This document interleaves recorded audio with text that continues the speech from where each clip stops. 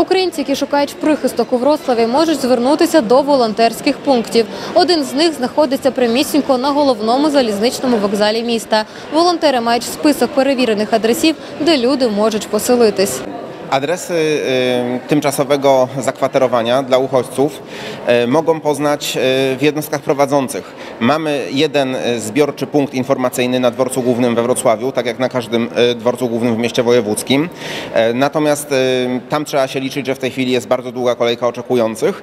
Można te adresy też poznawać bezpośrednio w jednostkach samorządu terytorialnego, które te miejsca zakwaterowania na polecenie wojewody tworzą i tam przyjmują uchodźców. Для того, щоб заселитися, варто мати із собою будь-який документ, що підтверджує особу. Проживання в прихистках є абсолютно безкоштовним. Że to będzie zakwaterowanie y, na około miesiąc, za wyjątkiem punktów recepcyjnych, gdzie jest ono bardzo tymczasowe na dobę, dwie doby y, i przez, y, później są y, przekwaterowywani dalej uchodźcy. Natomiast y, no, jak sytuacja będzie się rozwijać, y, to obserwujemy. Y, Zobaczymy, jak to będzie się rozwijać za miesiąc, czy ym, te osoby będą mogły wracać do swoich domów, czy, czy sytuacja będzie dalej się rozwijać. Не залишилось байдужих, кого не торкнулася російсько-українська війна. Втікаючих людей від цієї жахливої події вже майже 2 мільйони.